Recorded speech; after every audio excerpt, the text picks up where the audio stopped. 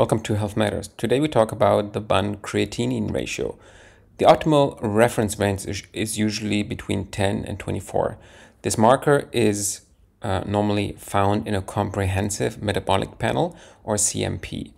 Um, so, what is the BUN creatinine ratio? The blood urea nitrogen BUN BUN creatinine ratio is a renal related to the kidneys function indicator commonly used to diagnose acute or chronic renal disease or damage. BUN and creatinine are both waste products of normal metabolism in the human body. BUN represents the amount of nitrogen produced from the metabolism of proteins. Creatinine is a normal waste product of muscle.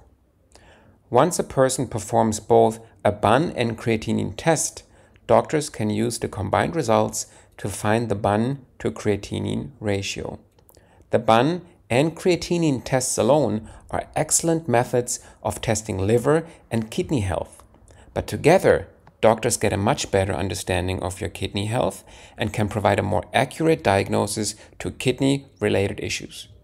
Most clinicians agree that creatinine is a more specific indicator of glomerular function than BUN. However, the BUN to creatinine ratio may be used as an indirect estimate of renal function. If results for BUN and creatinine are both within the normal reference range, the BUN creatinine ratio will not be reported as it's not applicable. So, what is a BUN test? A blood urea nitrogen BUN test measures the amount of nitrogen in your blood and is used to provide doctors with information on how well your kidneys and liver are functioning.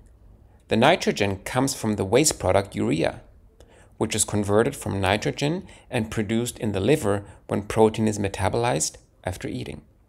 Healthy kidneys then filter the urea and remove other waste products like urea through urination.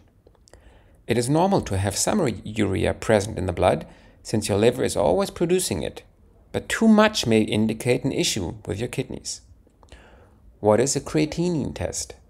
Creatinine is another type of mo- molecule that is generated from muscle metabolism. Like urea, creatinine is transported through the bloodstream and to the kidneys, where it is also filtered and excreted through the urine. The rate of creatinine formation depends on the individual muscle mass. Because muscle mass remains fairly consistent, creatinine levels remain essentially unchanged throughout the day.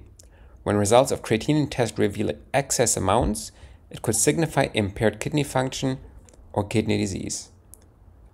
Why are we measuring the BUN creatinine ratio? The BUN creatinine ratio blood test is used to diagnose acute or chronic renal, which means kidney, disease or damage. It may also be used to determine gastrointestinal GI bleeding or trauma. BUN and creatinine are both filtered in the kidneys and excreted in urine. The two together are used to measure overall kidney function. The BUN creatinine ratio provides specific clinical information about the kidney that can be used for multiple purposes.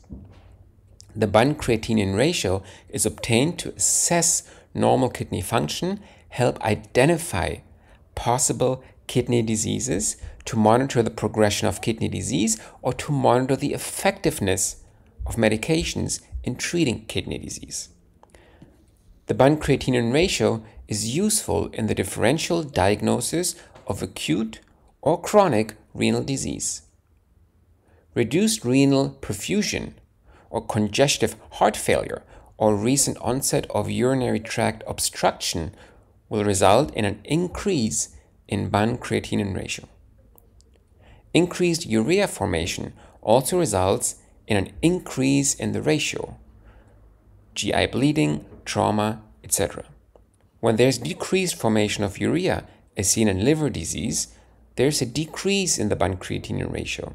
In most cases of chronic renal disease, the ratio remains relatively normal.